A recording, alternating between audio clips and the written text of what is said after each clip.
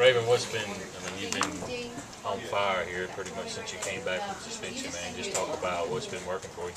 Um, I mean, I just, I just been feeling it for the last couple of games. Um, I mean, a lot of, I've been getting a lot of shots up. Um, after practice, you know, doing doing things, you know, keep keeping my mind just ready, you know, take shots. Um, it's just a lot of repetition I've been doing. Uh, you know, when the game time, I've just been out ready.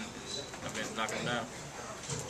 Said you were trying real hard to not get as emotional before the game. Um, did you, did you have, were you more nervous today, or, or did it kind of work out well for you? Um, after I got the first shot on my system, I was fine after that. Uh, I thought I was going to airball, um, just anything. Uh, but you know, after that, I kind of calmed down and uh, you know just let everything come back come back to it.